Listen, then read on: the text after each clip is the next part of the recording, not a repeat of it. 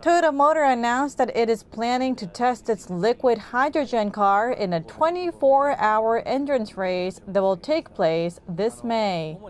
The Japanese auto giant was forced to be absent from an endurance test that took place at the Suzuka circuit in western Japan in March due to problems during a test run.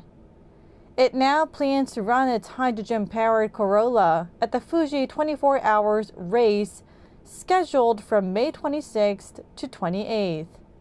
Toyota hopes to promote hydrogen powered vehicles as a safe and viable option to realize carbon neutrality.